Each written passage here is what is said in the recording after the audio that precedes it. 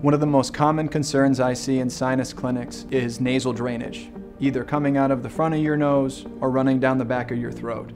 It can be very bothersome and lasts for even years without a clear cause. The most common reasons that individuals get nasal drainage can be things like allergies, sinus problems, or non-allergic things such as exposure to certain chemicals or environments. Luckily, there are a multitude of treatments that are extremely easy to use.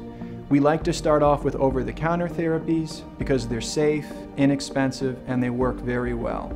Saline rinses can be extremely effective. Secondarily, there are multiple over-the-counter steroid sprays that can also be utilized to decrease the inflammatory response in your nose, which is often causing the nasal drainage. If the over-the-counter medical therapies don't work, I would suggest an evaluation with someone like me, a nasal and sinus specialist. Your exam would begin with a thoughtful discussion about your symptoms, how long you've had them, what has made you worse and better, and most importantly, what you tried in the past. Your exam would likely include something called nasal endoscopy, looking in your nose to try to determine why you continue to have symptoms despite previous medical trials. That exam often gives us insights as to why you remain symptomatic despite good medical therapy. It also allows me to provide you with the most appropriate medical therapy moving forward.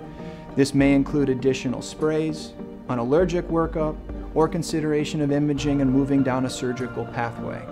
If you continue to have symptoms despite these workups, there are always additional measures that we can try.